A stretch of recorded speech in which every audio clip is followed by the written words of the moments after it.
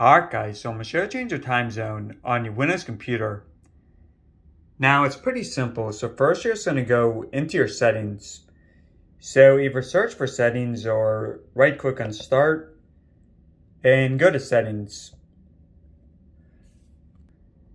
Alright, next you're going to press on time and language.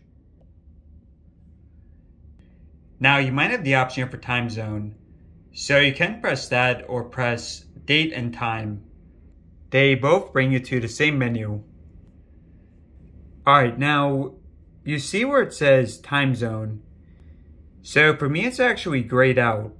Uh, and that's because the time zone is automatically set.